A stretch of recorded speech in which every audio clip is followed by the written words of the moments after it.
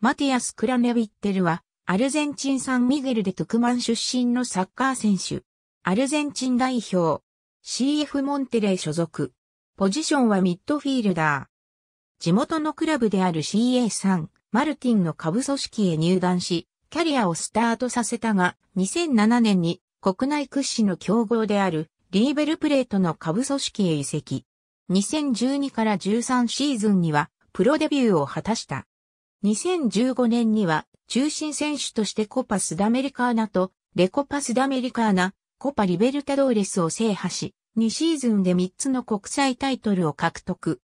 アルゼンチン時代には同じリーベル出身であり、同じくリーベルで背番号5を背負っていたハビエル・マスチェラーノの後継者とも評されていた。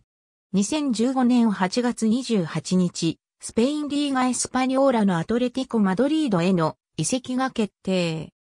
当初はすぐチームに合流する予定であったが、クラネビッテルとリーベル側の12月に開催される FIFA クラブワールドカップを戦い終えてからの移籍という意向を考慮し、半年間リーベルへレンタル移籍してから合流することとなった。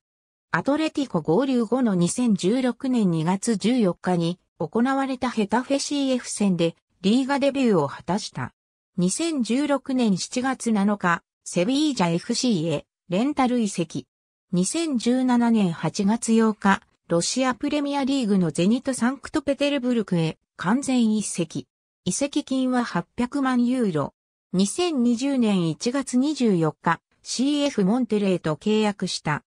2015年8月24日に負傷離脱したルーカス・ビリアの代役としてアルゼンチン代表に初招集され、9月24日のボリビア戦で代表デビューを果たした。ありがとうございます。